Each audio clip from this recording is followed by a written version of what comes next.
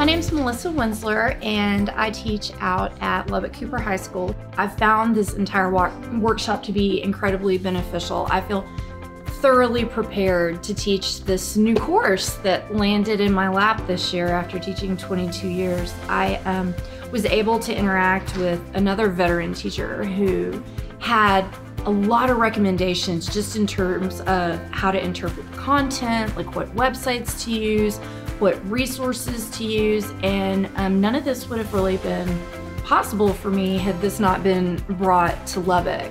Normally it costs like $500 just to attend an institute, and the closest one is like in Dallas to Houston. But we did it locally and made it so that it was crazy affordable for the districts to send their teachers. We're really excited that we've been able to alleviate this burden from school districts and so that they can be sending teachers to get really wonderful training.